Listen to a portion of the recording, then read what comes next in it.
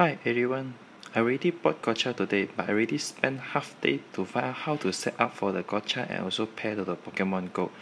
So today I'm going to make a video to show you guys how to how for the first time set up and also the how to the pair. So first you will see the circle button of the Go-tcha, just click it. It will show the screen Go-tcha, then fastly click one more time. It will show all the setting. This means if you have take this one, it will automatically catch Pokemon also automatically go to the Pokestop collect Poke. Just click it, make sure everything is tick. If it's show untick means you need to hold to the circle button to change to the setting. Just hold it, it will change. This is the vibration. Because I want to have the power saving, I just unclick it. Okay. Then now we go to the iPhone to pair for the Go-tcha.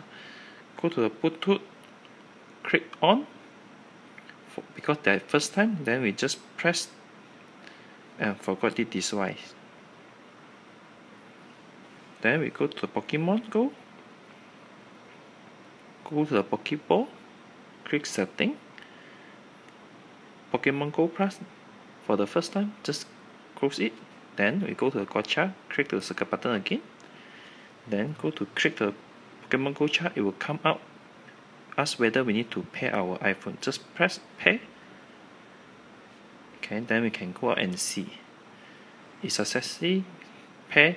Then now starting to collect Pokeball and also catch Pokemon. Let's see. Okay, Pokemon in range.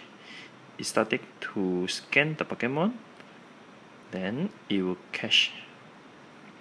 Okay, then do is range once it catch all the Pokemon nearby, then only will start collect the Pokeball.